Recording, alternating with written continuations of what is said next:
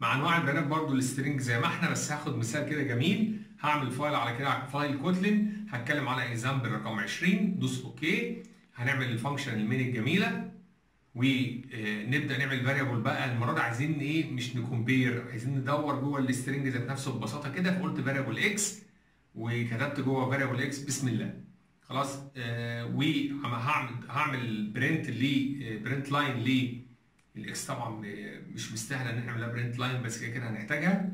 مفيش مشكلة بس أنا عايز أطبع منها حاجة معينة. يعني هقول له x بس عايز أقول له x dot get طبعا get function هيبقى لازم هيعمل القوسين اللي هم الإيه؟ بتوع المجموعة. فقال لي dot get 6 6 هنا بالنسبة لي عبارة عن إيه؟ x هات لي منها 6 6 دي يعني هيبدأ معايا هيبدأ ال B تاخد رقم 0 ال I تاخد رقم 1 ال S 2 ال M 3 4 ال space 5 ال A أول L في الله هي اللي جابت إيه؟ هي اللي جابت رقم إيه؟ رقم 6 مظبوط كده؟ عدهم أهو.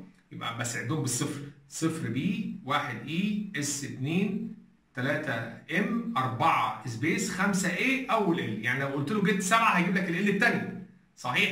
يعني لو جينا جربنا كده السبعة تجيب لي L اللي بعدها تجيب لي نفس L ولو قلنا جاب لي L أهي. ولو قلنا 8 المفروض يجيب لي حرف الايه اللي هو السمول طبعا بتفرق. فقلت له طب نفس الطريقة بالظبط ممكن أقول له x وأفتح قوسين اللي هم قوسين المربعين دول وهقول له هات لي رقم 8 عشان يجيب لي حرف الايه السمول دي طريقة ثانية برده زي ال get عشان لو عايز تنقي حرف من الحروف. الحاجات دي رغم إن هي قد تكون بسيطة لكن ممكن نشتغل عليها كتير جدا. ده ممكن نشتغل عليها في ال find وفي البحث وكلام زي كده. رغم كده في برضه functions ثانية كتيرة جدا في البحث. هناخد مثلا منها واحد اللي هو بيقطع أجزاء من الكلمة.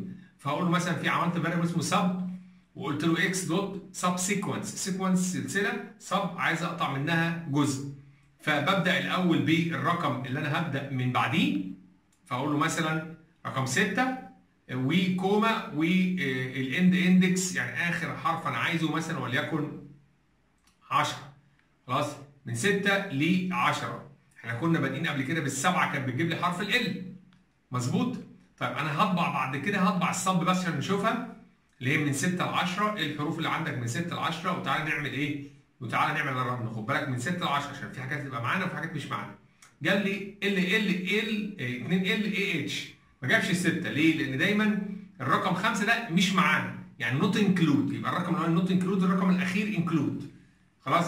يعني الرقم الأولاني بنحطه مش مش من ضمن الرقم الأخير من ضمن.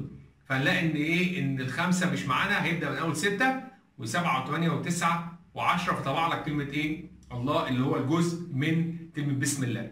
طبعا آخر function هناخدها مع بعض اللي هي contains هل ده يحتوي ده ولا لأ؟ فلو قلت له x هل هي تحتوي ال sub كلمة الله طبعا من ضمن كلمة بسم الله فلو قلت له x contains الله هل هل ال x contains الله فطبعا المفروض يجيب لي إيه true إن كلمة الله فعليا هي جزء من كلمة بسم الله نفس الكلمة عبارة عن جزء من الكلمة الأساسية دي ده اللي contains